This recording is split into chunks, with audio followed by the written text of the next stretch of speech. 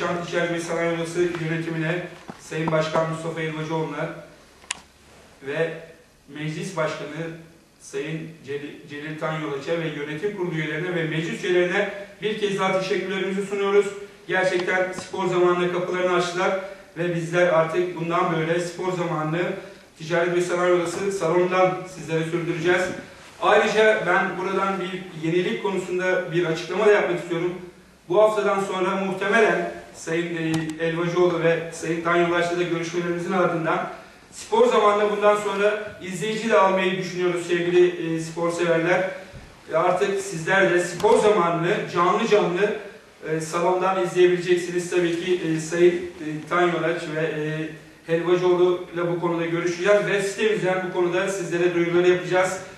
Umarız ki spor zamanı artık sizlerin gözü önünde çekilecek. Sizlerin gözünün önünde e, programımıza konuklarımızı alacağız ve e, sizlerin de sorularını zaman zaman program içerisinde belki de alacağız konuklarımıza. Bakalım gelir, ilerleyen haftada neler olacak. E, tabii ki bu konuda bize gerekli izin çıkarsa böyle bir e, çalışmamız olduğunu da sizlere aktarmak istiyorum. Ve bu akşamın konuklarını ben sizlere tanıtmak istiyorum. Anafartalar Spor Kulübü Başkanı Sayın Alaaddin Tokadak. Hoş geldiniz efendim. Ve Batuhan Er gerçekten e, liglerin golcü futbolcularından bir tanesi. 22 gole sahip Batuhan ve genç takımda da muhtemelen 16-17 golü var Batuhan'ın. Liglerin en golcü futbolcularından bir tanesi. Batuhan da bizlerle beraber. Hoş geldin Batuhan. Ve Berkay Zorlu kardeşimiz. Kendisi de bir sakatlık geçiriyor biliyorsunuz. E, tedavisi anlamında neler oluyor? İlerleyen dakikalarda bunları Sayın Başkan'dan ve kendisinden öğreneceğiz. Hoş geldin Berkay. Evet, e, gerçekten Anafartalar Spor'un deplasman Fatih olması yine devam etti. E, şimdi sevgili spor severler ben bir şey söylemek istiyorum. Anafartalar Spor'un puanı 20. Bu puanın 19 puanı dışarıdan gelen puan.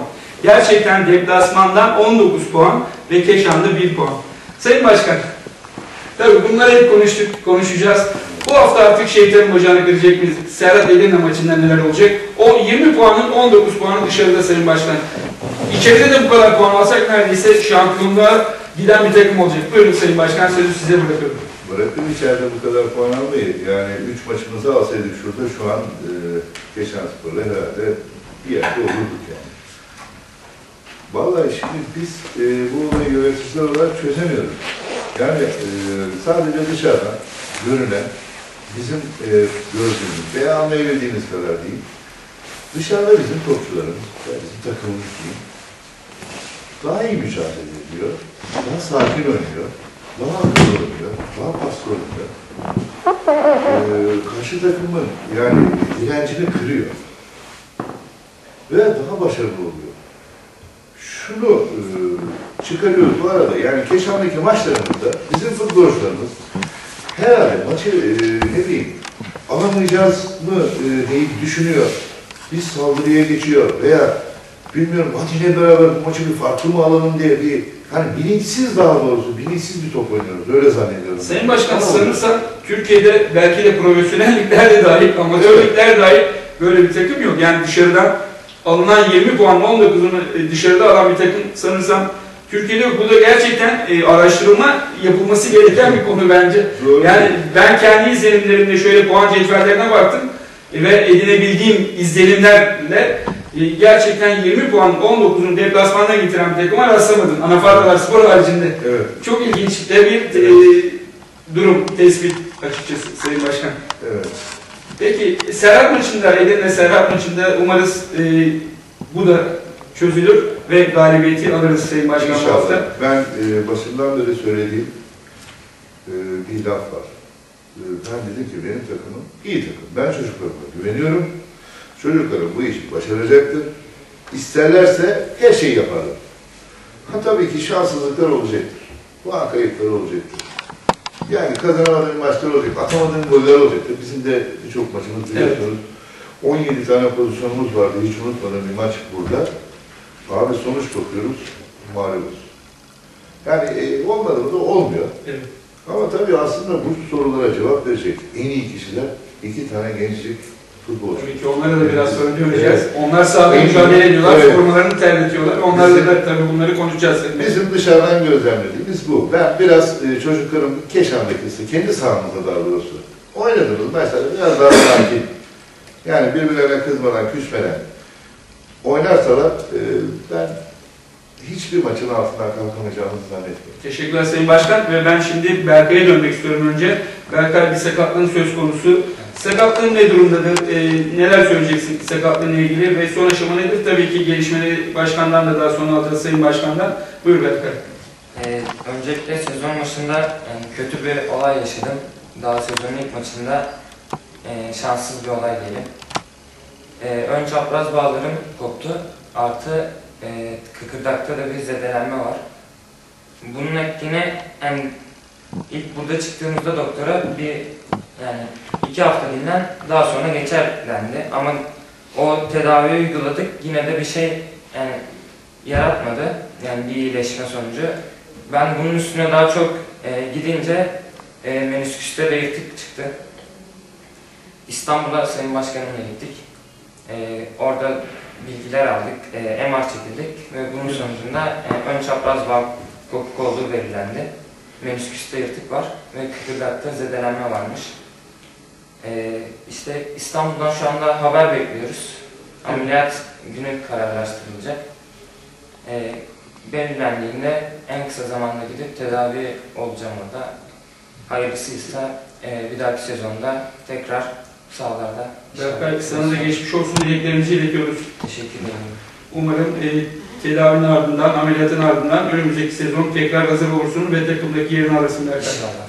Evet, e, şimdi Batuhaner'e döneceğiz. Batuhaner hem genç takımda U19'larda Anafartalar spor formasını giyiyor hem de A takımda gerçekten e, büyük e, bir mücadele sergiliyor Batuhan. Her iki takımda cumartesi pazar e, maçlara çıkıyor. Evet Batuhan, e, şimdi az önce Sayın Başkan'a sordum. Sana da soracağım. E, ligde 22 golüm var e, Bal Ligi'nde. Gençlerde de 15-16 golüm var. Yani e, Batuhan, Keşan'da bir maç kazanamadınız. Nasıl oluyor? Bunları arkadaşlarınızla nasıl paylaşıyorsunuz? Artık inandınız mı? Dışarıda 19 puan getiriyorsunuz. içeride 1 puan. Aynen. Neler söyleyeceksin Batuhan? Ve bu hafta eline Serhat maçı içinde artık e, şeytanın bacağını kıracak mıyız? Abi öncelikle bu haftaki galibiyetten dolayı bütün arkadaşlarımı tebrik ediyorum. Yine iyi bir oyun sergiledik deplasmanda. Her Evet. zamanki gibi. Bu iç saha olayına gelince yani ikinci devreye iyi başladığımızı düşünüyorum. 5 maç oynadık. Bir şanssız yine kendi sahamızda Karpuz'la mağlup olduk.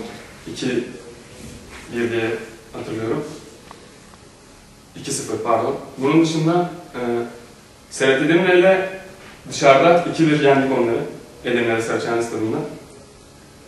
Yani yenemeyeceğimiz bir takım olduğunu düşünmüyorum. İkinci devreye başladığımızdan beri zaten iyi top oynuyoruz. Güzel şeyler ortaya çıkmaya başladı.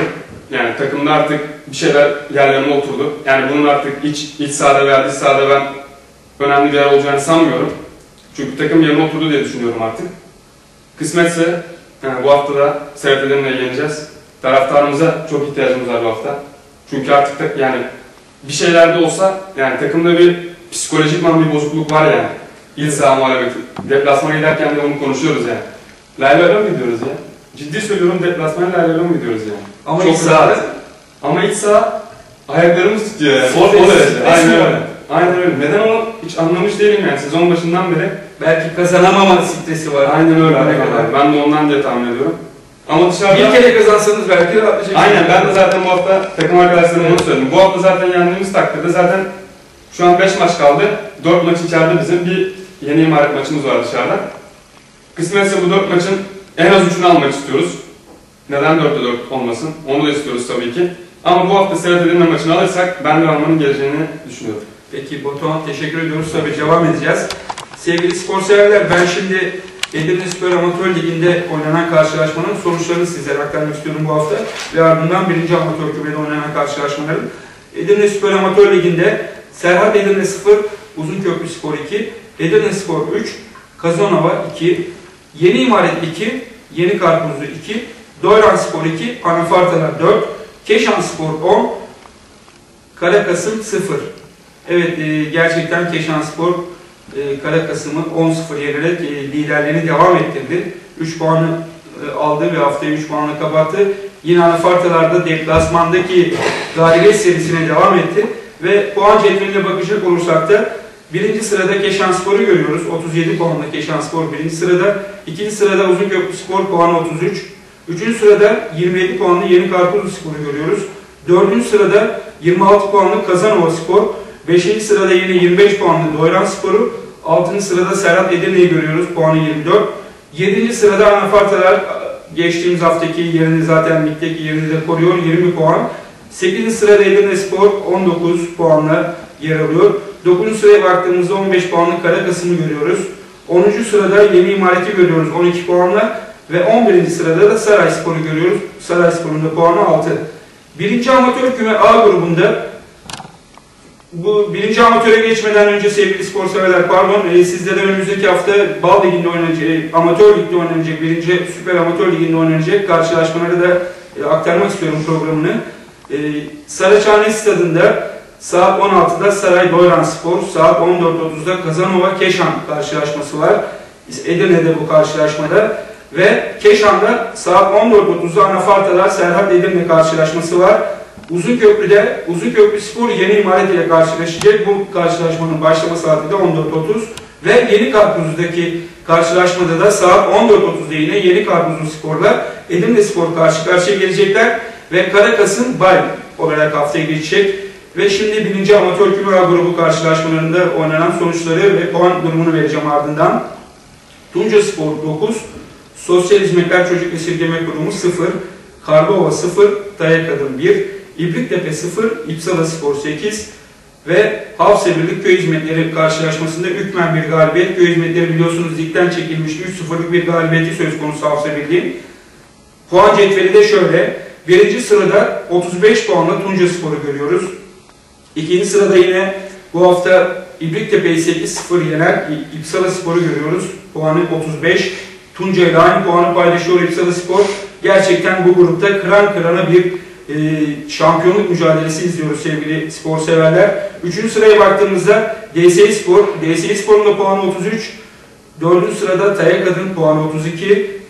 Ve 5. sırada Sosyal Hizmetler Çocuk Esirgeme Kur- Kurumu puanı 25. 6. sırada 10 puanlı İbriktepe Spor'u görüyoruz. 7. sırada 9 puanlı Karlova Spor. 8. sırada 7 puanlı Hafsa Birlik. Ve son sırada da Köy Hizmetleri takımı var. Zaten Köy Hizmetleri takımı da ligden çekilmişti.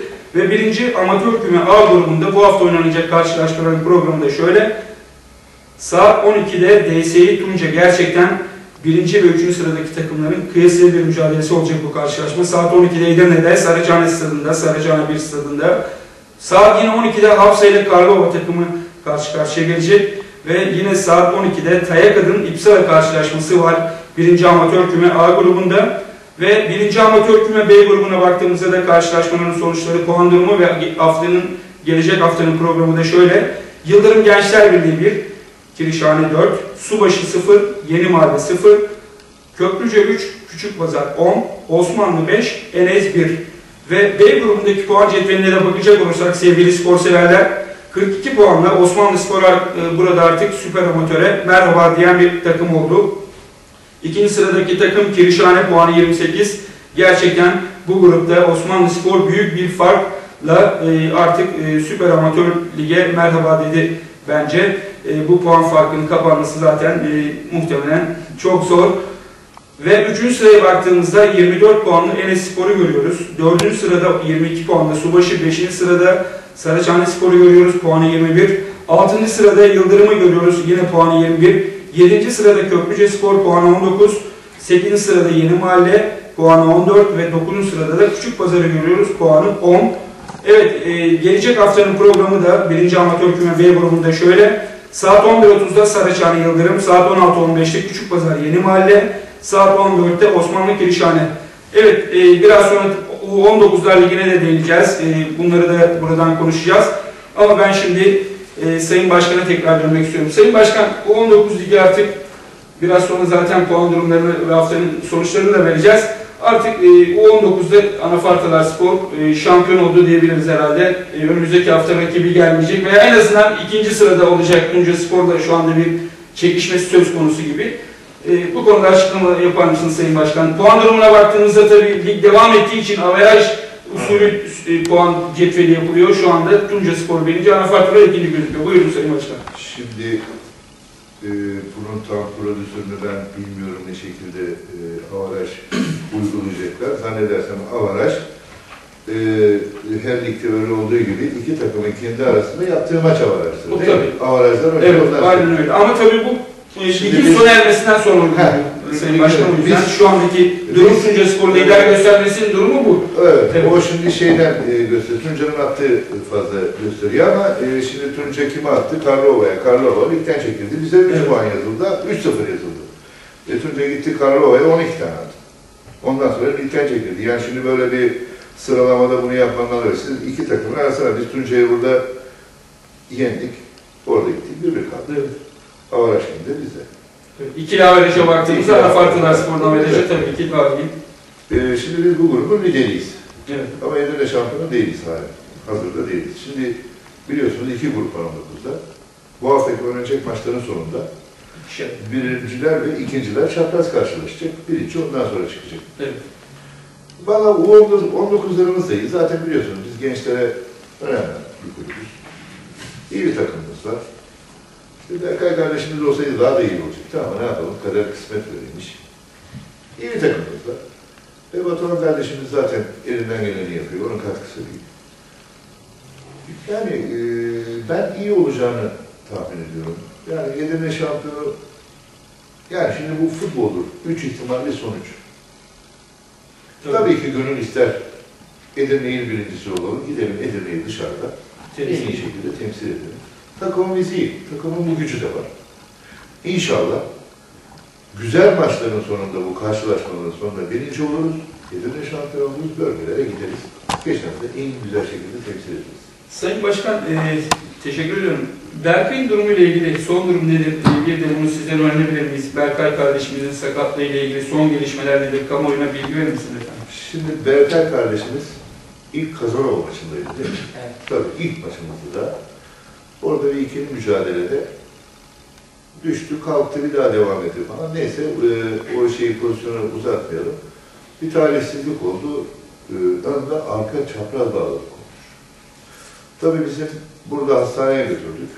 Hastanede e, verilen, söylenen şeyler 5-10 gün dinlen çapraz bağladım, yan çapraz bağladım. Zedelenmiş, öyle değil mi beyefendi? 5-10 gün. Çapraz bağlı. Yani Yok yok. burada Yan çapraz burada. E, bir bilgi söylenmedi. Sadece dinlemem gerektiği söylendi. Dinleneceği söylendi. Daha sonra Edirne'ye çıkınca zaten 10-15 gün zannedersem öyle bir geçti değil mi? Tabii, iki 15-20 hafta. gün geçti öyle. Ee, Şey tabii iyileşme olmayınca Edirne. Ee, neydi hastanenin adı ya? Ekol Ekol hastanesi. Hastanesi'ne gittik. MR'ını çektirdik falan. Tabii orada bazı şeyler meydana çıktı. Bunun dışında orada çıkınca bu sefer aldık biz Berkay'ı, İstanbul'a gittik. Ee, Galatasaray'ın şu anki doktoru Vedat Tıktık. Beyler sağ olsun. Onunla görüştük bana telefonda. Bizi yönlendirdi. Ee, Ervan Türker diye bir doktora Gazi Hastanesi'ne gittik. Orada e, muayene ettirdik. Tabii ondan önce daha bir iki yerde. Medikal Park'ta bir muayene ettirdik. Ee, Küçükçekmece'de ne hastane? Hayat Hastanesi. Hayat Has- Hayat Hastanesi'nde yönlendirdiler. Orada bir muayene ettirdik. Bu üç hastanenin diyeyim doktorların koyduğu teşhis ön ve arka çapraz bağların koptuğu. Artı e, tabii bu 15 günlük gezdiği zaman zarfında da Berkay kardeşimiz burada biraz yani bizim de suçumuz var bu işte nasıl bilgisizlik suçumuz var yani. Aslında burada hiç oyalanmayın. Bu işi yapan bir yere direkt gitmek en doğrusu bu iş. Evet. Yani bu işin uzmanına gitmek. Tabii buradaki o gezinmelerden dolayı o İlkman'a çıktı 15 gün sonra o şeyden dolayı da Kıkırdak'ta bir çatlak oluşmuş. Doktorla konuştuk. Ee, tabii bu arada Berkay kardeşimiz de okuyor biliyorsun. Dedi ki yani bunun e, şu anki durumunda Berkay'a e, top oynamadığı sürece herhangi bir zararı olmayacaktır. Okulunu bitirsin, gelsin. Biz de e, orada konuştuk babalarına falan. Konuştuk. Dedik yani okul ne zaman bitiyor? Ne zaman bu işi yaparız? Orada 24 Mart dediler sınavların sonu. Evet. Biz de 24 Mart'a göre kendimizi hazırladık. Yani okuldan kalmasın diye erken ameliyat ettik. Ve doktorun tavsiye üzerinde. Doktor herhangi bir Eğitiminde zararı- yarım kalmasın. Evet. derslerden Yani, yani bir- o gün Tabii. ameliyat ettirseydik Tabii. bugün bir senesi kaybolacak. Evet. İşte bu çalışmalarımız sonucunda e, biz şimdi birkaç yerden haber bekliyoruz bizden beri. Herhalde bu akşam sonuçlanacak, büyük bir ihtimalle neticelenecek. Biz de Berkay kardeşimize en güzel yerde ameliyatını yapacağız. Umut ediyorum ki Berkay kardeşimiz uygular. Önümüzdeki sezon gene çıkacak bu yeşil sahaları tıkır tıkır toplanacak. Teşekkürler Sayın Başkan. Şimdi e, sana döneceğim Batuhan tekrar. Batuhan, e, şunu sormak istiyorum. Yani e, bunları hep zaten zaman zaman bir araya geldiğimizde, programımıza katıldığınızda veya basın toplantılarında hep sorduk ama bir seyirci baskısı hissediyor musunuz? Yani Keşan'a geldiğinizde seyirciler hakikaten ya bunları belki sormak da seyircilerimize belki diyecek ki ya hep aynı şeyleri soruyorsun. Yani, En maça çağırıyoruz. Hep maça. Ama e, tabii ki seyirci de gelecek tabii ki. Seyircinin gelmemesi. Çünkü seyirci takımın 12. adamı ve 12. e, en büyük destekçisi e, Batuhan. Ama e, artık bunu aşmanız gerekiyor diye düşünüyorum. Çünkü gerçekten e, aslında bunu çünkü siz de bunun yanlış olduğunu seyircilerin artık bir baskı oluşturmaması gerektiğini mutlaka bunları konuşuyorsunuz kendi aranızda. Onun için merak ettiğim için soruyorum. Artık yani bunu atmanız lazım üzerinizden herhalde. Değil mi Sayın Batuhan? Aynen öyle abi yani söylediğiniz gibi. Sonuçta dışarıda da seyirci oluyor. Yani. Yani, orada da Orasının seyircisi var elinde. Kendi Yani seyirciniz de kendi değil. O daha büyük destekliyor. baskı. Aynen öyle olması gerekiyor. Ama yani kaçırdığımız çok sayıda pozisyon da oluyor. Bunun verdiği moral bozukluğu da oluyor. Yani bu sağ, yani kendi oynadığımız sahada ne bileyim bir uğursuzluk mu var artık? Ben bunu ne diye tanımlayayım bilmiyorum. Yani olmayacağım diyor. En yakın Karpuzlu maçı var. Batuhan'ın direkten dönen bir Evet, diğer Batuhan. Akın. Aynen öyle. Direkten dönen bir topu var boş kaleye. O olsa belki de şu an bu şekilde olmayacaktı yani. O, o maç o şekilde bitmeyecekti. Ama dediğim gibi bundan önceki maçlarda da İmaret maçında olsun, ne bileyim Saray maçında olsun, direkten dönen toplarımız olsun. Kazanan başında oldu. Kazanan Kaçan maçında. Saray Doylan Aynen öyle. Yani, Yani sıra dışı yani. yenildiğimiz maçlarda bile rakipten fazla pozisyon Aynen öyle. Doylan'dan 6 tane gol yedik, 12 tane yakın gol kaçırdık ilk maçta. Yani nasıl bir şanssızlık mı var artık? Bunu ben tanımlayamıyorum yani Erdoğan abi. Ama inşallah dediğim gibi SRT'nin maçında bunu artık bir edeceğiz. ver- Aynen öyle. Son vermek Arkadaşlarınız da buna inandınız. Aynen abi. Buna motive Ben oldunuz. buradan cani gönülden inandım artık ya. Şöyle bir taraftarlara bu konuyla ilgili bir mesajını alayım. Lütfen. Tüm spor severleri bu, bu maça gerçekten destek vermelerini bekliyoruz. Artık Anafartlar Spor Kulübü olarak bu maçı burada artık kazanıp önümüzdeki kalan 4 maçı da alıp iyi bir yerlerde ligi bitirmek istiyoruz. Peki. E, Batuhan teşekkür ediyoruz. Tabii devam edeceğiz e, e, görüşmemize, programımıza. Sevgili spor severler, ben şimdi sizlere az önce de söyledik. Bu 19'lar Ligi'nin e, haftada e, oynanan puan maçların sonuçlarını ve puan durumunu sizlere aktarmak istiyorum. Bu 19'lar A grubunda Karlova 0, Tunca 3. Tabii Karlova ligden çekildi. Bu da hükmen bir galibiyet. Tunca 0, 3-0 hükmen galip geldi. Yeni İmaret 4, Edirne 1, Anafartalar 10, Lalapaşa 1. Ee, gerçekten Anafartalar Spor 10'a 1 e, karşılaşmayı kazandı. Keşan'la oynanan karşılaşmayı. Puan durumu şöyle. Tunca Spor 22 puanla. Anafartalar Spor 2. sırada hemen yine 22 puanla. Tabii e, az önce de bunu dile getirdik.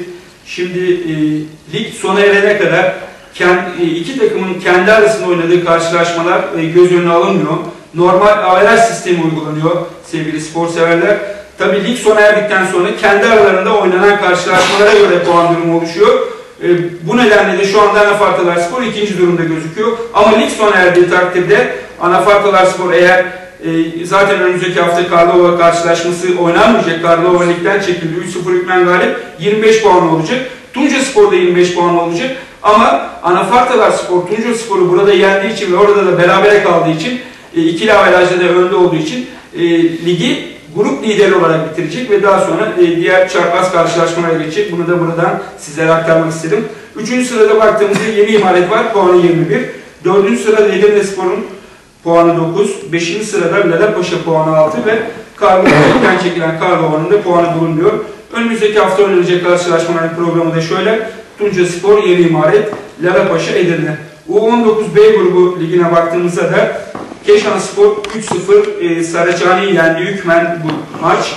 Ve Yeni Mahalle yine Yıldırım'ı yendi 3-0 hükmen yine kazanılan iki maçta geçtiğimiz hafta oynanan iki karşılaşmada oynanmadı daha doğrusu. Saraçhane ve Yıldırım maçları çıkmayınca Keşan ve Yeni Mahalle bu maçları kazandı. Ve puan durumuna baktığımızda U19B grubunda da Edirne Gençlik Spor 21 puanla birinci sırada, Keşan Spor 18 puanla ikinci sırada, Osmanlı Spor 18 puanla üçüncü sırada, dördüncü sırada Saraçhane görüyoruz puanı 15, Yeni Mahalle'nin puanı 5. sırada Yeni Mahalle puanı 3 ve 6. sırada da e, puansız olan e, ve ligden çekilen Yıldırım takımını görüyoruz. E, önümüzdeki hafta B grubunda oynanacak karşılaşmaların programı da şöyle. Edirne Gençlik e, 3 Nisan'da bu karşılaşma yarın oynanacak Edirne Gençlik Osmanlı Spor karşılaşması 3 Nisan saat 17'de oynanacak. Edirne Gençlik ve Osmanlı Spor karşı karşıya gelecek. 6 Nisan'da Saraçhane ile Edirne Gençlik ve Keşan Spor karşı karşıya gelecek. Saat 13'te bu karşılaşmanın da başlama saati. Ve saat 12'de yine 6 Nisan'da saat 12'de Osmanlı Spor Yeni Mahalle takımları karşı karşıya gelecek. Ve bu maçların ardından her iki grupta da e, karşılaşmalar tamamlanacak. Ve bu karşılaşmaların ardından da ilk iki sıraya giren takımlar çapraz olarak karşılıklı e, oynayacaklar ve e, il şampiyonu ortaya çıkacak bu karşılaşmalar sonunda. İl şampiyonu da Edirne'yi Türkiye şampiyonasında temsil edecek sevgili spor severler. Ve ben e, ayrıca şimdi hemen bir voleybol ligine dönmek istiyorum. Gerçekten biliyorsunuz voleybolda da takımlarımız mücadele ediyor. E, kızlarda ve erkeklerde voleybol takımlarımız bu hafta oynadıkları karşılaşmalarla ligi tamamladılar. Keşan Gençlik kendi sahasında oynadığı karşılaşmayı çok net bir skorla 3-0 kazandı ve rakibini 3-0 yenerek 3 puan sahibi oldu. Bu arada bir hatırlatmada bulunmak istiyorum. Ee, Keşan Gençlik Yönetim Kurulu üyeleri, kulüp başkan yardımcısı e, Turgay Balcı ve yönetim kurulu üyesi Sayın Arda Akkaya'da e, ve Tayfun Pişiren hocamla birlikte akşam e, 2 Nisan e, Salı gecesi e, Ankara'ya hareket ettiler ve e, bugün Ankara'da CHP İl Milletvekili Recep Gürkan'la birlikte oldular ve Sayın Gürkan'ın e, federasyondan aldığı bir e, randevuyla federasyon başkanı ile görüşmek üzere oraya gittiklerini öğrendik ama bundan sonraki sonucu alamadık. E, ayrıca burada e, Sayın Gürkan'a birer form hediye ettiler. Bir form hediye ettiler. 22 numaralı Keşan Gençlik formasını da hediye ettiler. Bakalım oradaki gelişmeler neler olacak. Federasyon başkanını ziyarete kulüp olarak bir federasyon başkanının bir ziyareti söz konusu Keşan Gençlik Kulübü'nün. E, tabii gelişmeleri e, programımızın artık e, ilerleyen dakikalarında veremeyeceğiz. Çünkü herhangi bir bilgiye ulaşamadık şu dakikaya kadar ama sitemizden gelişmeleri takip edebilirsiniz sevgili spor severler. Ve ben şimdi e, oynanan karşılaşmaların sonuçlarını vermek istiyorum size. E, bölgesel lig Bayan B grubunda Kırklareli Fen Bilimleri 3, Kırklareli Gençlik Spor 0, Edirne Keşan Gençlik 3, Edirne Yıldırım Beyazıt Anadolu Lisesi 0. Puan durumuna baktığımızda da birinci sırada Edirne Gençlik Spor'u görüyoruz. Puanı 23. İkinci sırada Kırklareli Fen Bilimleri Koleji'ni görüyoruz. Puanı 16. Üçüncü sırada 15 puanlı Keşan Gençlik. Dördüncü sırada Edirne Yıldırım Beyazıt Anadolu Lisesi puanı 6. Ve beşinci sırada da Kırklareli Gençlik Spor puanı yok e, Kırklareli Gençlik Spor'un. Bu arada şu hatırlatmayı da yapmak istiyorum sevgili spor severler. Keşan Gençlik e, eğer e, e, muhtemelen yarın belli olacak bütün gruplardaki e, en iyi üçüncüler arasında dört e, üçüncü arasına girerse en iyi üçüncü olarak dördüncü sırayı bile e, paylaşırsa Keşan Gençlik e, Türkiye 3. ligine terfi maçlarına katılacak. Bu yarın belli olacak. E, Çünkü e, bazı gruplarda az takım, bazı gruplarda çok takım olduğu için bu puanlama sistemi federasyonun belirleyeceği bir sistem olacak. Çünkü bazı gruplar dörtlü, bazı gruplar yedili. İşte alınan puanlar buradan düşülecek. Tabii bu federasyonun bir e, yapacağı hesaplamayla belirlenecek. Ve muhtemelen bu da e, 3 Nisan 2013 Çarşamba günü kesinlik kazanacak veya Perşembe günü kesinlik kazanacak. E, bakalım Keşan Gençlik umarız e, 3. lige terfi maçlarına katılır. Ayrıca şunu da söylemek istiyorum. Keşan Gençliğin bir e, yemeği var, dayanışma yemeği 5 Nisan 2013 Cuma günü akşamında e, Teras Kafe'de, Teras Düğün Salonu'nda e, bir yemek gerçekleştirecek Keşan Gençlik Kulübü de. Buradan bunu da e, sevgili spor severlere bunu aktarmak istiyorum. Ve yine konuklarıma döneceğim. Sayın Başkan şimdi tabii kulüpte bazı istifalar söz konusu oldu. Kulüp müdürümüz e, Sayın Taner Karatepe ve ardından gerçi resmi olmasa da Yalçın kardeşimiz Yalçın Baş kulüpten tabii Facebook sitesinde bunu açıkladı. Sosyal paylaşım sitesinde. E, Taner de e, bunu e, zaten sizinle görüşerek karşılıklı anlaşmayla e, bu istifayı e, yaptığını açıkladı. Neler söyleyeceksiniz başkan bu konuda söyleyeceğiniz bir şey var mı sayın? Şimdi Ağa Spor Kulübü bir dernektir. Dernek sorumluluk isteyen bir iştir. Her kişinin sorumluluğu var. Sorumluluktan kaçmak, kurtulmak basittir. Başkanın her türlü der işim var istifa ediyorum, işim var istifa ediyorum, işim başka bir şey yok. İşlerimin yoğunluğu nedeniyle. Evet. Yani bu devam devam. Sizin işiniz yoğun değil galiba başkan. Şimdi, evet benim işim gücüm anafart spor. Başka bir işim gücüm yok. Bir de Berkay'ın işi var. Şimdi, şimdi abi ne diyeyim artık ya? O istifa etmiş, bu istifa etmiş. Bakın ben şunu söyleyeyim. Taner, Yalçın, şu, biz herkesi kucaklamaya çalışıyoruz. Biz çağırdıklarımızı değil, bize gelenlere kucak açıyoruz. Bizden kimse de dokunmasın. Yani beni çağırsın, beni çağırsın. Hayır abi. Burası bir dernektir. Kimsenin babası malı değildir. Buraya gönül verenler, bu işi yapmak isteyenler gelecek. Gelecekler, e, diyecek ki ben görev yapmak istiyorum veya ben e, katılmak istiyorum. Ben Bizim derneklerde bir iş var. Üye kayıt defterini eline alan çıkıyor piyasaya. Erdoğan abi üye olur musun bizim kulübümüze? Aylık işte 3 lira 5 lira neyse. Erdoğan ne yapsın? E tamam diyor yapın. Evet. Bu iş gönül işi. İstifa, biz bazı kişiler hoş görüyoruz artık. Yalçın kardeşimiz bizim içimizdedir o. O gider gelir. Talep öyle dediyse öyledir. Şimdi o öyle diyorsa öyledir. Şimdi bunları büyütmenin de anlamı yok. Kırmanın da anlamı yok. Kırıcı konuşmanın da anlamı yok. Yani bazı şeyleri büyütmeye gerek yok. O öyle diyorsa öyledir. Ben cevap vermiyorum. Peki Sayın Başkan. Ee, sevgili spor severler, ben şimdi bir de gerçekten yine geçtiğimiz hafta voleybol maçının ardından futbol maçına gittik. Tabii ki Yaşanspor'un Karakas'ın oynadığı maçına gittik, maçı izlemek üzere. Ve e, gerçekten e, şeref tribününe baktığımızda Sayın Mustafa Çelik Başkan'ın e, şeref tribününde cezalı olmasına rağmen 3 Mart tarihinde 4 Mart tarihinde ceza almış Sayın Başkan. 4 Mart'ta bir cezası söz konusu ve 2 aylık bir hak mağlubiyeti var. Ama e, şeref tribünde oturuyor. Gerçekten bunu da e, gözlerden ve dikkatlerden kaçmadı. 4 Mayıs'ta bitiyor Sayın Başkan'ın cezası.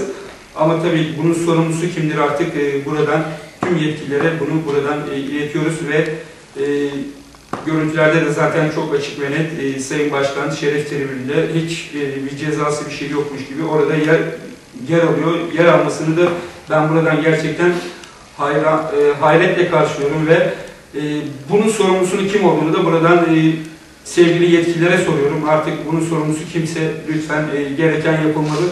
Eğer birine ceza verilmişse, bir ceza verilmişse daha doğrusu bu ceza yerine getirilmeli. O zaman yerine getirilmeyecekse niçin ceza veriliyor? Yani yani sözüm ona, söz sözün gelişi veya işte ceza verdik demek için ceza veriyorsanız sonucu burada ortada ekranlarda işte görüyorsunuz ekranlarda da izliyorsunuz.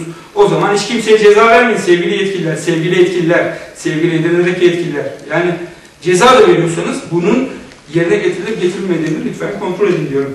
Ve yine bir Keşan Spor haberine geleceğim. Ee, Keşan Spor'un gerçekten halı sahası o dönemde, Güray Koşan'ın başkanlığı döneminde, ben de yönetimdeydim. O dönemde bir tesis yapıldı. Tesis çok önemli olarak addedildi. O dönemde çok büyük bir heyecan duyuldu. Keşan Spor'a büyük bir gelir getireceği e, maksadıyla bu tesis açıldı ve büyük emekler harcandı. O dönemde Sayın e, Tugay Komutanı Mustafa Kemal Tutkun Paşa'mızın olsun, o dönemdeki belediye başkanı Sayın Mustafa İbrahim olsun, büyük katkıları, belediyenin de büyük katkıları da vardı bu tesisin yapımında. Ama geçtiğimiz günlerde gerçekten e, bu tesise gittim. Yüreğim cız ederek o manzaraları, o tesisi gözlemledim. Sevgili spor severler, işte Keşan Spor'un festival alanı yanındaki halı sahasındayız. İşte şu anda halı sahanın durumu, son durumu nedir? İşte tel örgüleri görüyorsunuz. Gerçekten kötü bir durum. Keşan Spor halı sahasında. İşte görüyoruz zemin. Şu anda da zemine bakıyoruz. Zemin gerçekten ve bütün teller çürümüş. Bir ilgisizlik hakim bu sahada. İşte şu anda zemini görüyoruz. İşte halı sahanın son zemin durumu. Gerçekten halı saha bir içler acısı.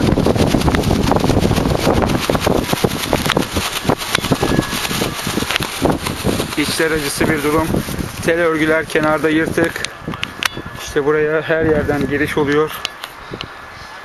Ayrıca bakıyorsunuz işte küflü teller ve üst zemin ağının durumu gerçekten Keşan Spor'un tek e, kendi malı tek çakılı çivisi diyebiliriz.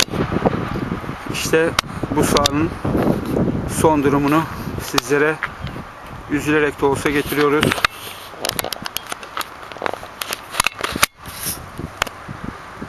Bu saha gerçekten e, o dönemin Tugay Komutanı Sayın Mustafa Kemal Paşa'nın Mustafa Kemal Tutkun Paşa'nın da büyük çabasıyla yapılmıştı.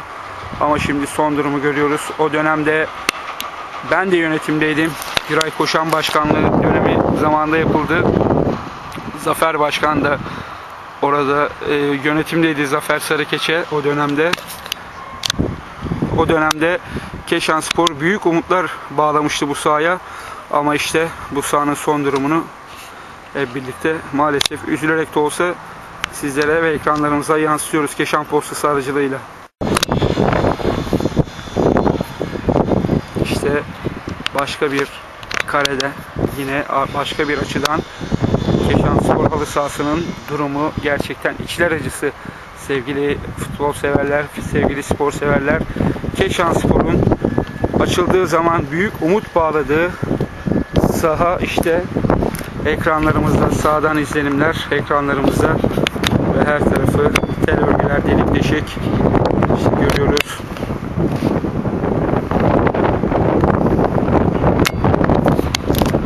Maalesef kötü bir durum.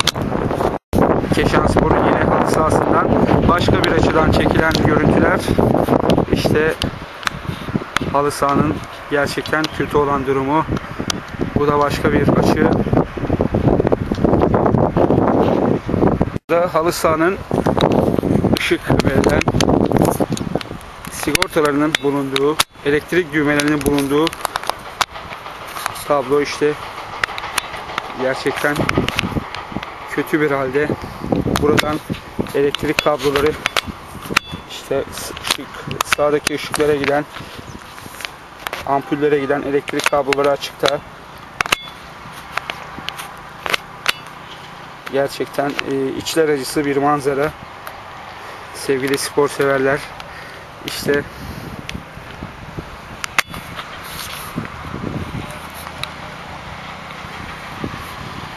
burada birine gelecek bir zarar gerçekten Keşanspor adına çok üzücü bir e, olay olarak addedilecek.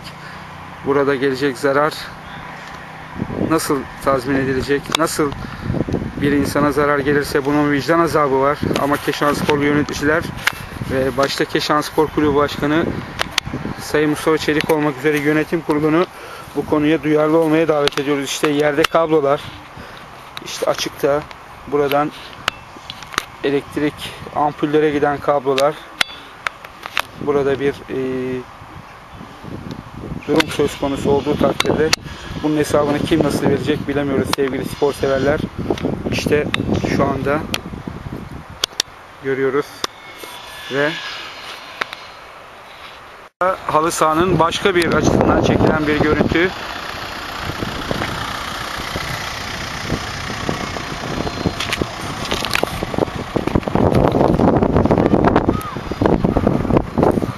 İşte şu anda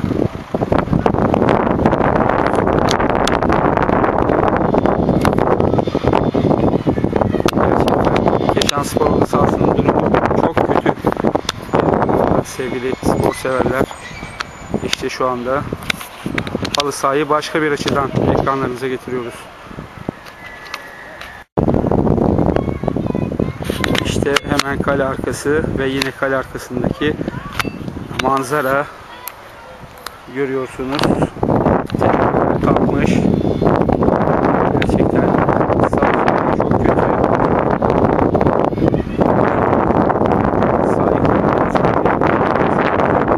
Uzun bir süreden beri de muhtemelen sahanın pek e, faaliyet verdiği söylenemez sevgili spor severler.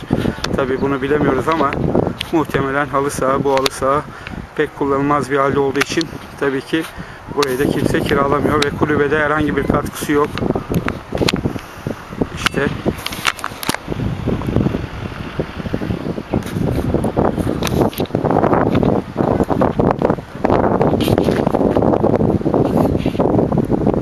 görüyoruz ekranlarımızda. İşte Keşan Spor halı sahasının son durumu. Gerçekten Keşan Spor'a büyük umutlarla yapılan ve Keşan Spor için e, büyük bir kaynak olacağı söylenen halı sahanın son durumu işte ekranlarımızda. Yorumu siz sevgili spor severlere ve Keşan Postası okuyucularına bırakıyoruz sevgili okuyucularımız ve sevgili spor severler. Yorum sizin. O dökülen teller, yırtılan işte zemin, halı, halı gerçekten rezil bir durumda. Hatta elektrik panosu, şu anda elektrik panosunun bütün kabloları açıkta. Orada birine bir şey olsa acaba bunun sorumluluğunu kim taşıyacak diye merak ediyorum. Ya sevgili yönetici arkadaşlarım, sevgili Sayın Başkan Mustafa Çelik ve yönetim kurulu üyeleri, lütfen bir zahmet lütfedip gidin şu halı sahayı bir görün diyorum. Daha fazla da bir şey söylemek istiyorum. Çünkü orada yaşanacak, orada olacak bir kaza yüreğimizi cız eder, yüreğimizi yakar. Orada bir sorumluluk e, taşıyın. Lütfen e, bunları buradan ortadan, bu kötü görüntüleri ortadan kaldıralım. Hem diyoruz Keşan Spor'a tesis kazandıralım hem de olan bir tesisin ne halde olduğunu da işte ekranlarınızda sizler de izliyorsunuz sevgili e, izleyicilerimiz. Gerçekten böyle bir tesis böyle olmamalı. Tesislerimize sahip çıkmalıyız. Tesis yapalım diyoruz. Herkes tesis yapalım, tesis yapalım diyoruz ama yapılan tesisin hali de ortada. Evet Sayın Başkan, e, şimdi tesisler açılmışken tabii sizin de bir düğün salonu projeniz var. Ne aşamadadır, ne durumdadır düğün salonu Sayın Başkan? Şimdi Sayın Erdoğan, e, biz 5 Nisan'da göreve geldik. Geçen sene. Benim biliyorsun senelerdir ben bu işin içindeyim. Hep tesis dedik. O sahanın başlamasından tutun bu Evet. zamana kadar hep ben bir şey söylerim. Tesis, tesis, tesis, tesis. Ha şimdi az önce güzel bir şey söylediniz. O da geldi aklıma. Tesisi yapmak bazen çok basit. Ama yaşatmak Bak bak.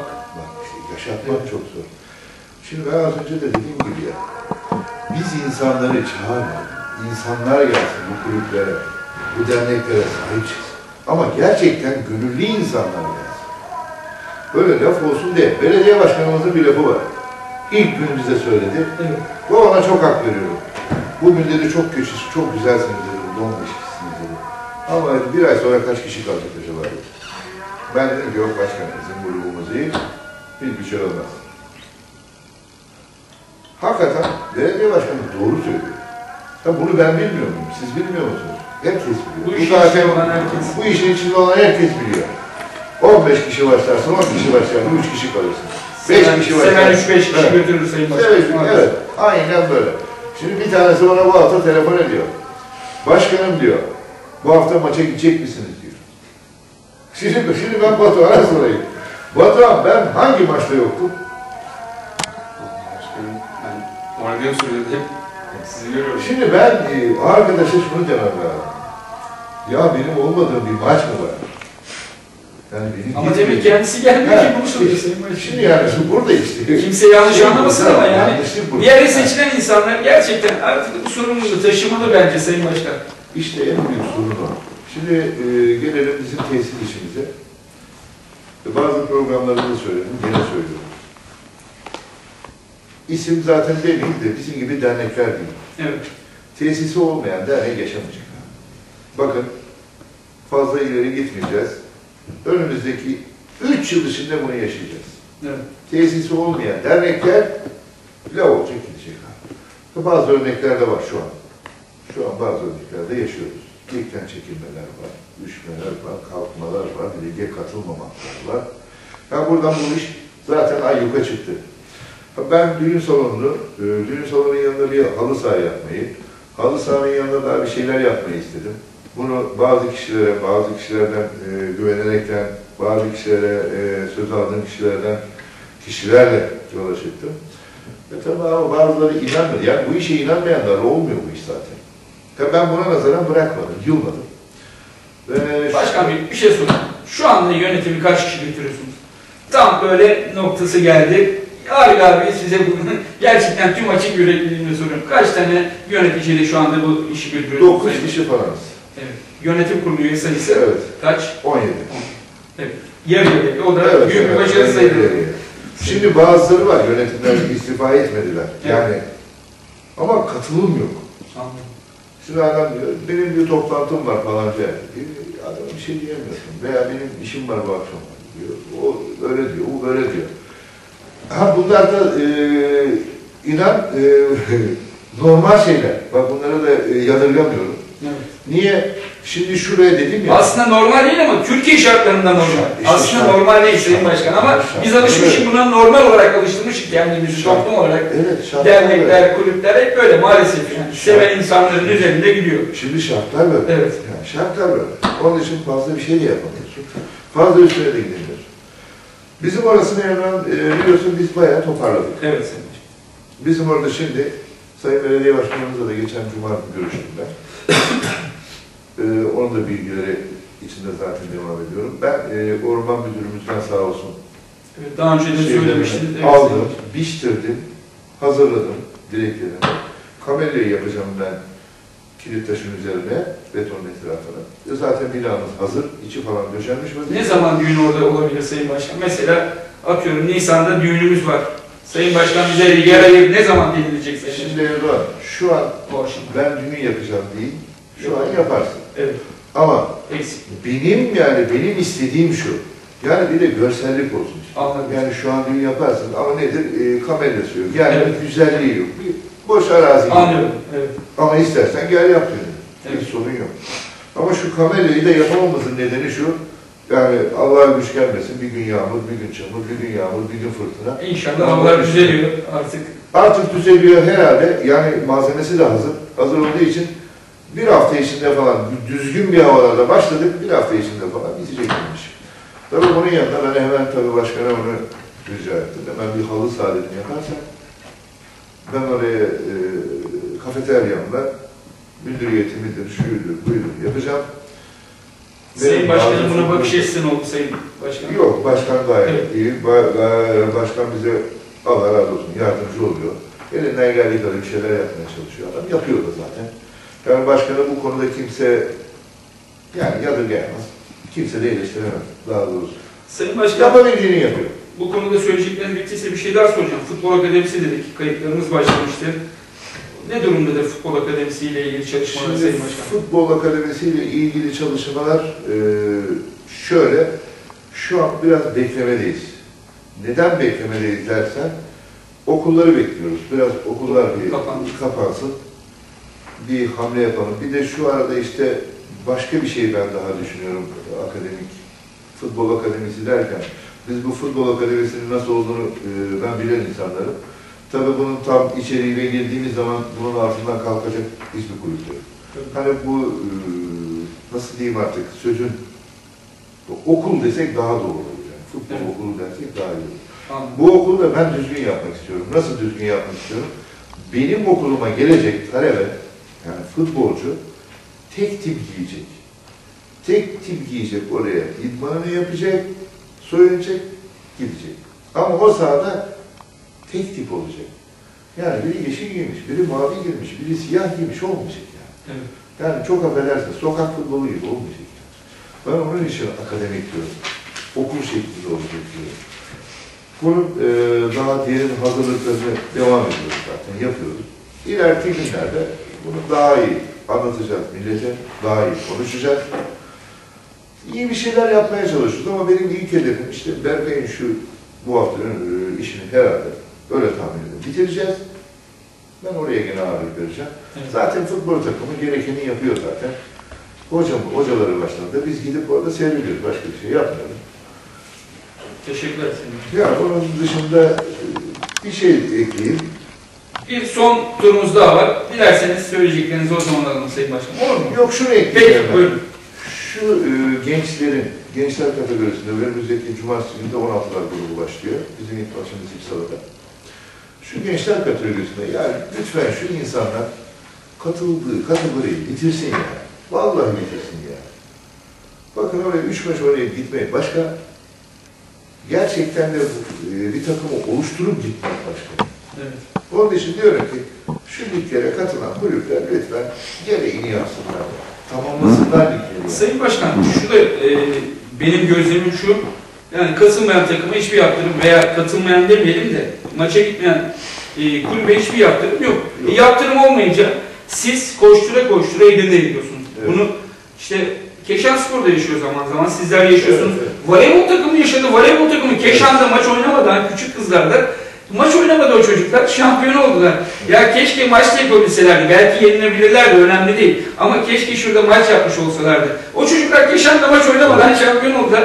Keşan'da kendi sahasında oynamanın sevincini yaşayamadılar. Yani böyle bir şey yok. Ama bir yaptırım gelmeli bence bunlar. Şu altyapının, altyapı daha doğrusu bu kategori, genç kategori dediğimiz kategoriler altyapıdır. Tabii ki. Zaten amaç nedir? O çocukların Yetişmesi, maç oynaması, maç, oynaması, tecrübesi kazanması. Evet. Budur. Burada şampiyon olmuş olmamış da çok önemli. açıkçası. Evet, aynen. Tabii ki önemli ama Başarı- yani önce futbolcunun o maç heyecanını, maç tecrübesini yaşaması. Evet, evet. O başarı zaten olacaksa o takımda olacak zaten. Evet. Gidecektir gideceği yere kadar. Gitsin zaten. Ama bir yaptırım uygulanmaması maalesef e, takımları da bu noktaya itiyor. Yani Evet. ben niye masraf yapayım şimdi Keşan'a gelip. Peki Keşan'daki takım için nereye gidiyor? İşte maalesef evet, maalesef dediğiniz gibi yaptırım olması gerekiyor. Bilmiyorum. Federasyon ne düşündü? Aslında bunu böyle e, güzel bir konferansla, güzel bir yerde toplanıp, bütün kulüpleri davet etse federasyon, bazı kararlar alınsa, olur mu olmaz mı? Şimdi profesörü iyi bilmediğim için bir şey de söyleyemiyorum. Umarız futbol temsilcisi Sayın Yavuz Çilavuz da bu programımızı izliyordu. Sayın Çilavuz gerçekten sizler de bu işin e, içinde olan bir insansınız. Yıllardan beri içindesiniz. Lütfen e, bu konulara biraz dikkat edersek Sayın Çilavuz ve kulüplere e, bu anlamda en azından bir yaptırım getirilirse veya bilmiyorum bu işin daha ciddi tutulması halinde e, daha başarılı, daha iyi olacağını tahmin ediyorum Sayın Çilavuz. Bu konuda lütfen bir çalışma yaparsanız kulüpler de sizlerle birlikte olacaktır. Sayın Başkan da söylüyor zaten. E, Bundan sonraki e, dönemde lütfen e, bu kulüplerin maçlara gelmemesi konusunda bir yaptırım olması gerektiğini e, buradan Sayın Başkan da söyledi işte. E, Umarım ki bir çözüm bulunur bunun için. Ve ben şimdi e, voleybolda erkeklerde de tabii takımlarımız vardı. Biliyorsunuz erkeklerde iki takımımız var Keşan'da. Ve geçtiğimiz hafta oynanan, oynanan karşılaşmalarda da şu sonuçlar alındı.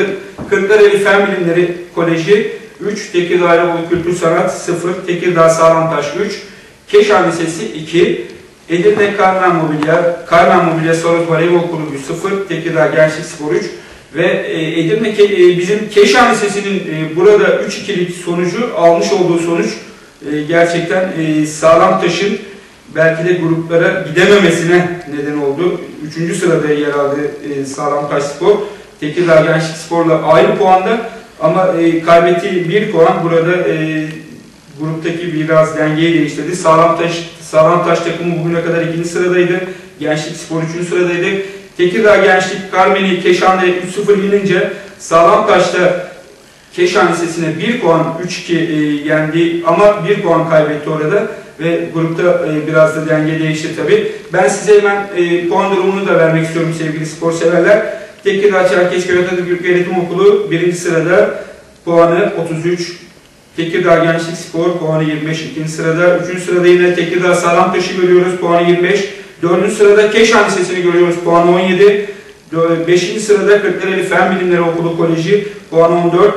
Se- e, Yine 6. sırada 8 puanlı Tekirdağ Ayrıbalı Kültür Sanat takımını görüyoruz. 7. ve son sırada da Karmen Mobilya Sarız Voleybol Kulübü Keşan temsilcisi de 3 puanla ligi tamamladı ve e, bölgesel ligler burada sona erdi. Voleybol ligleri hem bayanlarda hem erkeklerde. E, tabii artık seneye bakalım neler olacak bu liglerde de birlikte göreceğiz. Ve ben şimdi konuklarım artık e, programımızın son- sonuna, bu bölümünün sonuna gelirken e, hemen bu baştan başlayacağım. Berkay son olarak neler söyleyeceksin izleyenlerimize? Öncelikle Sayın Başkanıma bana verdiği yardımdan dolayı çok teşekkür ediyorum. Daha sonra takım arkadaşlarıma e, s- sakatlığımdan dolayı hepsi tek tek yani üzüntü duyduğunu dile getirdi ve benim geçmiş olsunu söylediler yani. E, daha sonra da takım arkadaşlarımın bu haftaki başarısını ileriki maçlarda da devam ettirmesini diliyorum. Herkes için hayırlı olsun. Sana da geçmiş olsun diliyoruz ve inşallah başarılı bir operasyon geçirirsin, başarılı bir ameliyatla tekrar sağlığa dönersin Berkay. Ve İnşallah. seneye Anafartalar Spor formasını yine giyer, e, ter dökersin Anafartalar Spor'un başarısı için. Evet Batuhan e, sen son olarak neler söyleyeceksin izleyenlerimize? Ben son olarak Erdoğan abi, e, Süper Amatör'de ilk sezonundan beri oynuyorum. Ve bugüne kadar gördüğüm deplasmanlarda çok güzel bir bu hafta duygu yaşadım. Doyran Spor'un gerçekten bir futbolcu olarak gittiğimde bize yaklaşımları çok sıcakkanlıydı. Bu beni gerçekten çok mutlu etti. Saha içinde top oynarken de yani dışarıdan desteklendiğimi fark ettim yani. Düşen arkadaşı kaldırdım, o bana yardım etti. Bir şekilde kaynaşmalar oldu. Çok güzel bir kaynaşma oldu orada. Çıkışta da bütün taraftarlar bizi tek tek tebrik etti. Yani bu şimdiye kadar Tabii gördüğüm sporun güzelliği bu zaten en yani. güzel anlardan biriydi. Evet. Yani şimdiye kadar kaç tane deplasman takımına gittiysem böyle bir şey yaşamadım. Buradan Doyran taraftarlarına çok teşekkür ediyoruz. Bize bu şekilde davrandıkları için. Biz de burada onlara o şekilde davranmıştık. Umarım bütün maçlarda da bu şekilde davranılması örnek olur diye düşünüyorum. Peki, teşekkürler Batuhan. Evet Sayın Başkan, son söz sizin. Ee, sizin mesajınız ne olacaktı Sayın Başkan? Buyurun. Kulüplerin, derneklerin görevi e, çatısı, alt, çatısı altında bulunduğu futbolcularına veya sporcularına diyelim. Tabii sahip çıkmak. Çıkmalı. Sahip çıkmalı. Biz de Berkay kardeşimize elimizden geldiği kadar sahip çıkmaya çalışıyoruz. Sahip çıkacağız da tabii. Gereken neyse yapacağız. Bunun ertesinde bu haftaki oynayacağımız maça ben Keşan seyircisini maça davet ediyorum. Ama lütfen futbol, futbolcularımızın üstüne fazla binmesinler. Futbolcularımız biraz e, tanıdıkları için Keşanlı çocuklar, buralı yöresi çocuklar oldukları için isimle bağırıyorlar, e, tezahüratı kişiye göre yapıyorlar, biraz daha telaş yapıyor çocuklarımız. Biraz daha sıkıyor kendini, rahat oynayamıyor. Onun için seyircilerimizden biraz sabırlı, alkışla, tezahüratla desteklemelerini istiyoruz. Herkesi stada bekliyoruz. Güzel bir maç olur inşallah. Teşekkürler Sayın Başkan. Evet sevgili spor severler, spor zamanının birinci bölümünde Anafartalar Spor Kulübü Başkanı Sayın Alaaddin Topalak ve Batuhan Er, golcü, futbolcu kardeşimiz gerçekten hem A takımda e, attığı gollerle hem de U19 takımında attığı gollerle takımın en golcü futbolcusu Batuhan ve Berkay Zorlu'yu konuk ettik bu bölümde. İkinci bölümde yine Keşan'da gerçekten e, bir ilke imza atan Sayın Yılmaz Özkaya ile birlikte olacağız. Kendisi e, yamaç paraşütü ve paramotorla ilgili uçuşlar e, gerçekten e, Keşan'a yerleştiren ve bu spora gönül veren bir isim. Biraz sonra kendisiyle birlikte olacağız. Evet sevgili spor severler, spor zamanı ikinci bölümde yine sizlerle birlikteyiz ve e, ikinci bölümdeki konuğumuz Sayın Yılmaz Özkaya. Efendim hoş geldiniz. Hoş bulduk Erdoğan, iyi akşamlar. İyi akşamlar. Seyircilerimize de iyi akşamlar diliyorum. Sayın Özkaya şimdi gerçekten Keşan'da bir ilke imza attınız. Gerçekten e, paramotor ve yamaç paraşütü sizin sayenizde yavaş yavaş Keşan'da gelişmeye başladı. Ben öncelikle şunu sormak istiyorum. Uçma merakı nasıl başladı sizde Sayın Özkaya? E, bu konuda neler söyleyeceksiniz? Nasıl bu işi öğrendiniz veya birinden mi duydunuz? E, bunu gerçekten merak ediyorum. Şimdi iki şeyin altını çizerek başlayalım. Birincisi ben değil Metin Saçar kardeşimle beraber biz Keşan'da başladık. Ha bir de bizden önce de Keşanlı olup bu işi yapan belki Yok. vardır. De bilemiyoruz duymuyorum. Ama duymuyoruz. Onun için onu da bir e, belirtelim. Ama neticede son dönemde Keşan'da yaşayan, Keşan'da olup bu sporu da Keşan'da yapan biziz. Gündeme getirmeye çalışıyoruz yapmamızla beraber. Ben de yamaç paraşütü merakı nereden başladı? Bende uçak paraşütçülüğü de vardı zaten. Gerçi bunlar çok farklı şeyler ama paraşüt kelimesi ortak olunca insanın aklına o da geliyor. Ee, Tekirdağ'da ben yamaç paraşütüyle uçanları seyrediyordum yıllardır. Fakat eğitimini almak işimiz uygun değildir. Gidip eğitimini alamayız diye çok üzerine düşmüyordum. Sonunda bunun eğitimini almanın da o kadar bağlayıcı olmadığını, peyderpey alınabildiğini, müsait zamanlarda da Evet. e, bu işin yapılabildiğini öğrenince işte 2011 yılında e, eğitimini aldık. Metin'le beraber tesadüfen zaten aynı günlerde başladık ve uçmaya başladık. Arkasından da bunun bir farklı aşaması olan, yamaç paraşütünün farklı aşaması olan paramotora geçtik. Şu anda hem paramotorla hem yamaçta uçuyoruz elimizden geldiği kadar.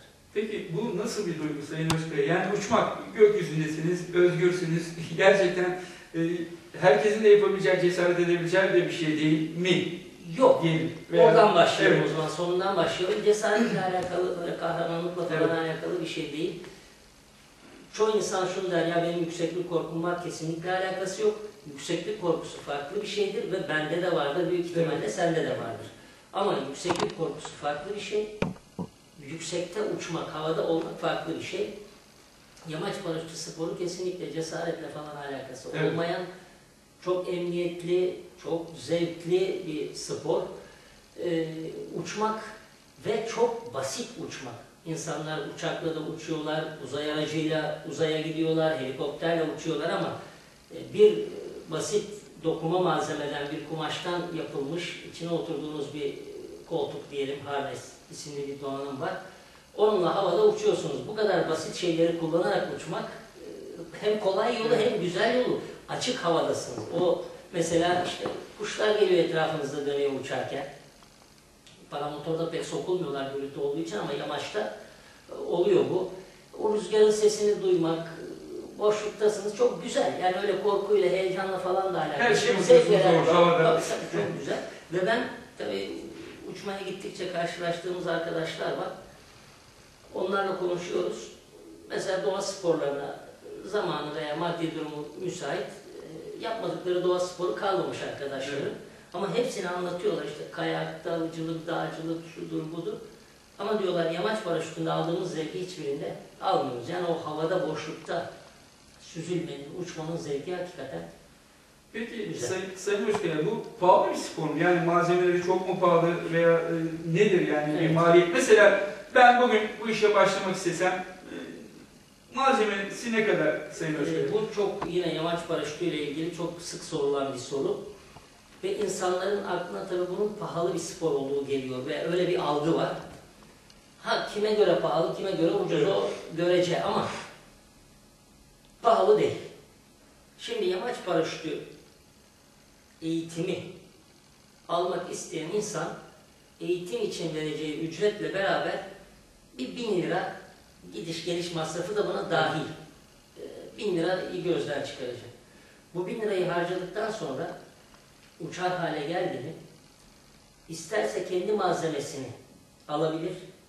Kendi malzemesini alırsa bunun ikinci eli bir takım malzeme 4000 lira iyi düzgün bir takım malzeme 4000 lira civarındadır. Ee, sıfırını alırsa 6-7 bin lira civarındadır takım olarak bütün malzeme. Ee, malzeme alması şart değil. Ben çok fazla vaktim yok. Arada bir uçacağım diyorsa zaten eğitim aldığı kulüp veya hoca onun uçmaya gittiği günlerde çok cüz'i fiyatlarla biraz bir kira vererek e, malzemeyi temin eder ve uçar. Evet. Yani e, bin lira harcayarak da yamaç paraşütü yapar hale gelirsiniz. E, İster malzemenizi kendiniz alırsanız, isterseniz almazsanız kirasını vererek uçarsınız. Bu kiralar da öyle e, 300-500 liralar gibi değil. Tamam.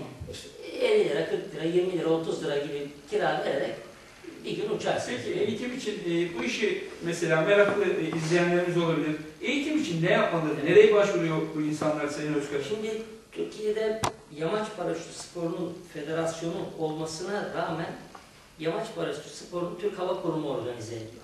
Evet. Bu bir. Ve e, resmi eğitimlerini de veriyor, başlangıç kurslarını da açıyor Türk Hava Kurumu. Kendi alt bölgelerde Türk Hava Kurumu adına kurs açma yetkisine sahip pilotlar var, onlar açıyorlar. Ama sonuçta e, hemen hemen her bölgede bu işi yapan kulüpler, okullar, ismine ne dersek diyelim, usta pilotlar, hocalar var. Mesela bizim kendi bölgemizden örnek verirsek Keşan'a en yakın yer Tekirdağ. Evet. Tekirdağ uçmak dere Türkiye genelinde de bu iş için iyi Tanınan, yerlerden, tanınan yer bilinen yerlerden biri. E, orada iki tane kulüp var. O kulüplerden birine gidip e, başvurulduğunda zaten tüm bilgiler kendisine, kişinin aktarılır. E, eğitim süreci başında da söylediğim gibi kesinlikle gözle büyütülecek bir süreç değil. E, kişinin iş durumuna e, göre, zamanına göre planlanıyor.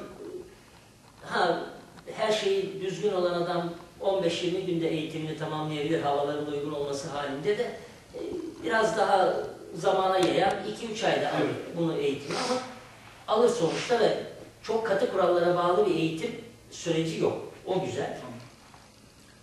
Bunları söyleyebilirim. Yani yamaç paraşütünü merak edenler bizimle zaten irtibat kurabilirler Keşan'da. Ee, ama Tekirdağ'da da kulüpler var. İnternete zaten yamaç paraşütü yazsanız bununla ilgili birçok bilgi elde edebilirsiniz. Sayın Özkaya, Keşan'da bu işi yapan sayısı kaça ulaştı? Sizce e, yeterli mi bu sayı? Bu sayının artması için neler yapılabilir? Şimdi Erdoğan, yamaç paraşütü sporu zaten dünyada da yeni bir spor. Evet. Hızla yayılıyor, gelişiyor, evet. o da doğru. Ama bizim bölgemizde tabii e, çok hızlı gelişen bir spor değil. Keşan'da şu anda e, benim bildiğim, bize Evet. dahil olan, Anladım. tekrar ediyorum onu yine atlamayalım, bizimle irtibatlı olmayan, Keşan'da Doğru. yaşamayan ama Keşan'da olup yamaç paraşütü sporu yapan insanlar mutlaka vardır. Biz burada yaşayan ve yapanlardan Evet. bahsediyoruz. Şu anda dört kişiyiz biz. İşte Metin Saçar e, kardeşimiz var. Bizden sonra da e, gazeteci Selim Şen, o hem paramotorla da uçmaya başladı. Bir de yine matbaacı Ferit kardeşimiz var. Biz şu anda dört kişi. Peki Sayın Özkaya bir şey soracağım. Yamaç paraşütüne uygun bir yer bölgemizde var mı? Siz mutlaka bu, bu çok önemli. Ee, Bölgemizde hızlı Tespit ettiğiniz bir yer var mı Yok. efendim? İşte sıkıntı o zaten. Bizim bölgemizde maalesef yamaç paraşütü yapılacak e, yamaçlar, tepeler, uygun tepeler. Bir tek Yeni Muhacir'deki Bayraktepe diye bir yer vardı. Geçen sene oradan bayağı uçtuk. Orası uygun gibi duruyor ama çok çok elverişli değil. Rehabilite edilmesi gerekiyor. Yolunun, iniş alanının, çıkış alanının düzenlenmesi lazım. Ee, Yani o da işte şöyle de denilebilir ya alt tarafı 3 kişi 4 kişi sporu yapıyor diye Evet. orada da kalkıp düzenleme yapmanın bir anlamı yok. E, doğru yani zaten ben şimdi yeni muhacire uçmak için gideceğim orası Tekirdağ gidiyorum yani Anladım. orasının her şeyi farklı veya motorla uçuyorum ama düzenlenir de orası uçuşa açık, getirirse. açık hale getirilirse bir iki yıl içinde bu sporu yapanlar da artabilir, orada gelip kulüpler eğitim de verebilir. Öyle de bir yönü var. Uçmak dere mesela e, Şarköy gerçekten uçmak dere çok önemli bir noktaya geldi bu konuda Türkiye'de değil mi Tabii ama orada Tekirdağ Valiliği'nin büyük bir e, katkısı var. Tanıtımına da, orada bazı yol düzenlemelerine de, bu böyle. Şimdi burada Yeni Muhacir'deki tepe, özellikle yelken uçuşlarına, kuzey rüzgarının hakim olduğu günlerde uygun. Ama işte orada bazı işlerin yapılması lazım. E Şimdi ben açık konuşayım, kişiselleştirmek istemiyorum. Yani gidip Yeni Muhacir Belediye Başkanı'yla da konuştuk zaten bunları ama beldenin gücünü aşar. açıkçası. Evet. Beldenin gücünü aşar sonuçta. Şimdi Keşan Kaymakamı'na, Keşan Belediye Başkanı'na veya şu veya bu kuruluşa gidip ya burasını düzenleyin uçalım. Adam derse kardeşim ya senin uçma zevkin için bir tane Yılmaz Özkaya ya da iki kişisiniz. Sizinle mi uğraşacağım? Yani oraya girmem ben. Do- Haklıdır da çünkü. Evet. Ama Ama gelecekte bu sayı artabilir belki bölgeye faydası olabilir. Gelecek bir süreç içerisinde. tavuk mu yumurtadan çıkar, yumurta mı tavuktan çıkar? Burada önce tepe yapılır, Evet. sonra yumurta çıkar. Anladım. Yani Tekirdağ'da öyle olmuştu. Gerekli Tabii. Tekirdağ'da o tepeler uçulur hale dört tane çıkış noktası var orada. O hale getirildikten sonra zaman içerisinde su aka aka şeyini genişletmiştir. e. Oluğunu, yarığını. Yani burada da siz önce düzenlemeyi yaparsınız sonra insanlar. Yoksa insanlar çoğalsın da biz sonra düzenle olmuyor. Peki Sayın Özkaya siz haftada kaç gün e, uçmaya gidiyorsunuz çalışma anlamında? O- kaç gün? öyle bir- Zamanınız yani müsait olduğu zaman herhalde. Yamaç paraşütü sporu salon sporları veya diğer doğa sporları gibi değil. Bir defa çok hava şartlarına bağlısınız. Çok fazla bağlısınız. Bu hani hava müsait olsa ben her gün bütün yamaç paraşütleri böyledir. Her gün uçayım ister. Ama o mümkün olmuyor. Mesela biz bu işte geçen ben 18 Mart'ta uçtum. Daha bir önceki pazar günü uçalım dedik. Hava müsait değildi olmadı. Bu cumartesi günü Tekirdağ'da güzel uçuşlar oldu. Bugün yine Keşan'da motorla uçmak için yine hava olmadı. Döndük geri. Yani meteoroloji siteleri var. Onların hava. bakıyoruz ama onlar da çoğu zaman veya bazı zamanlarda atlıyorlar, tutturamıyorlar. Mesela 18 Mart'ta e, Çanakkale Zaferi'nde Evet. güzel bir gösteriniz Orada- oldu. Keşan üzerinde ve e, alanın üzerinde, Evet. tören alanının üzerinde. Gerçekten bunlar da önemli aslında. Hava uygun da oldu. Evet. Denk geldi, uçtuk. Ee, Şimdi örneğin önümüzde 23 Nisan var. Evet, Uçmak istersin ama fırsat. hava uygun Hava, evet. olur mu olmaz mı? Ama hava uygun olduğunda insan her gün uçmak ister. Anladım. Sayın Özkaya son olarak e, bu sporla ilgili e, ileteceğiniz mesaj nedir? Başka söylemek istediğiniz bir şeyler var mı? Buyurun efendim. Bir iki özet cümle ya da maddeler halinde bir şeyler söylemek gerekirse bir, pahalı bir spor değil, gözle büyütecek kadar. Evet. Çünkü insanlar günlük hayatında ne kadar harcamalar yapıyorlar bir düşünsünler. Bu işe bir iki bin lira bir türlü biriktirir insan. Hayır Evet. yani. Pahalı bir spor değil. İki, tabii insanın ayakları yerden kesildiği için riskli, korkutucu geliyor belki ama kesinlikle e, ekstra tehlikeleri olan, ekstra riskleri olan bir spor değil. Evet. Yani trafikte seyrederken hangi tehlikeler altındaysanız oradaki oran belki de daha düşüktür. Havada bir şey yok çünkü. Ee, diğer doğa sporlarının zorlukları neyse onda da o var. Ama çok ekstra tehlikeleri olan bir spor değil. Böyle cesaretle, korkuyla, şununla bununla ilgili değil. Herkes, eli ayağı tutan herkes bu sporu yapabilir. Son örnek 67 yaşında bir kişi şu anda yamaç paraşütü eğitimi alıp e, ufak ufak uçmaya başladı. 67 yaşında. Yani eli ayağı tutan herkes bunu yapabilir. Çok fazla da fiziksel e, güce, yani güreş gibi, boks Evet. gibi bir şey de değil. Bu iki madde çok önemli. Bir pahalı değil, iki göz korkutacak bir şey yok. Üçüncüsü de ben arzu ederim herkes bunu yapsın, yapabilsin. Keşan'da da yapmak isteyenler, bu işe meraklıları varsa bizimle irtibat kurabilirler. Tabi burada Türk Hava Kurumu şubesi de var ama sporu yapan sayısı çok olmadığı için onlar bu konuda bir bölüm Evet. oluşturmak, bir dal açmak falan herhalde şu anda mümkün değil. Peki. Teşekkürler Sayın Ben Özkaya. teşekkür ederim. Tekrar iyi akşamlar diliyorum. Evet e, sevgili spor severler bir spor zamanımızın daha sonuna geldik. Ben Sayın Yılmaz Özkaya'ya da e, zamanlarını ayırdı ve bu konuyla ilgili gerçekten yaptığı sporla ilgili bizleri ve sizleri bilgilendirdi. Kendisine teşekkür ediyorum. Ve son sözümüzde de yine e, bizlere spor zamanına e, kapısını açan Keşan Ticari ve Sanayi Odası'na bir teşekkür daha etmek istiyorum. Gerçekten e, spor zamanı bundan böyle Keşan Ticaret ve Sanayi Odası salonundan e, sizlerin ekranlarınıza yansıyacak. Ayrıca demin de söyledim, bir kez daha söylemek istiyorum. Eğer e, yetkililer gerekli izni verirse biz kendileriyle önümüzdeki günlerde görüşmelerde bulunacağız. Bundan böyle spor zamanında e, siz de canlı olarak spor zamanı çekimlerini Ticaret ve Sanayi Odası'nın salonunda izleyebileceksiniz ve programa da soru cevap şeklinde e, konuklar olarak katılacaksınız ve programımızda e, buradan canlı canlı izleyeceksiniz sevgili spor severler. Ama tabii ki bu görüşmelerden sonra belli olacak ve ben e, bunu da si- sitemizden sizlere duyuracağız ve sizleri davet edeceğiz. Ben hepinize iyi akşamlar, iyi günler diliyorum. Esen kalın.